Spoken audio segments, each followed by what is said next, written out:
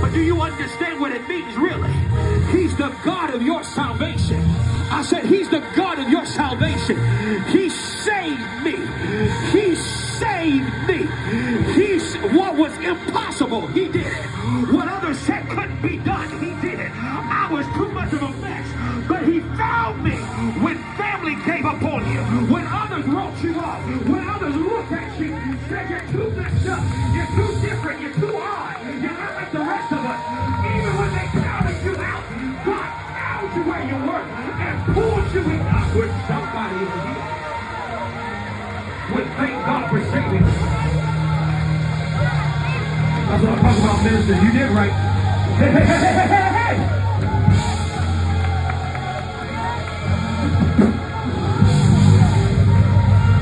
Break the music.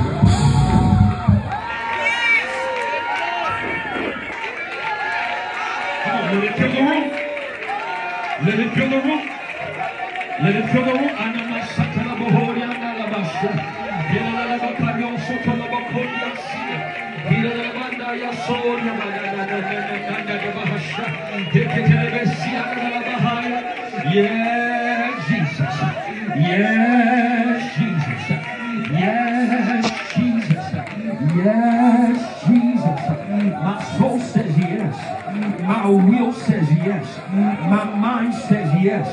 My spirit says yes. Come on, come on, pray in the Holy Ghost with no music right now. Let the real travail happen